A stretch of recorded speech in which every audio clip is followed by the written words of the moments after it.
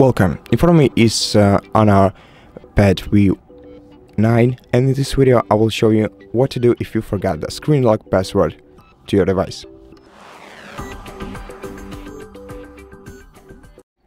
So the first thing that you should consider doing is trying and taking taking your time and trying to remember the password that you entered the last time that worked for you. You can give it a couple of attempts.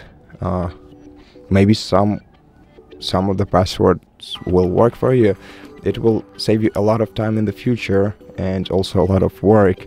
But in case you really can't remember the password then the other best and right option to do uh, would be to reach out to Honor customer support service and uh, tell them about your issue and uh, if you can prove the ownership of your tablet to them, they will most likely help you recover the access to your device without uh, removing any personal information or data from it.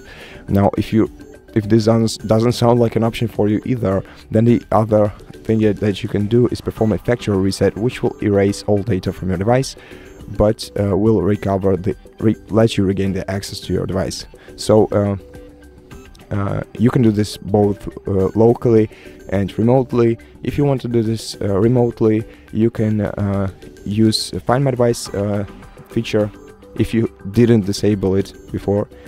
so if your account is, if your Google account is linked to this device, you can access Find Hub service on Google.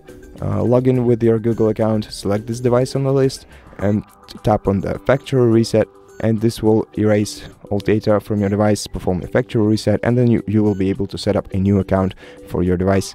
Uh, now, if you can do this, you, you can also perform a factory reset locally through the recovery mode.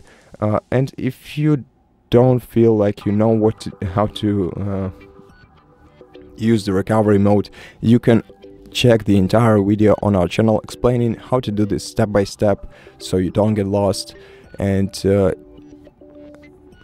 so if you need it go ahead check it out. And for this video that will be all. So thank you for watching it. If you liked it consider subscribing to our channel. Leave us a like and a comment below. And i'll see you in the next one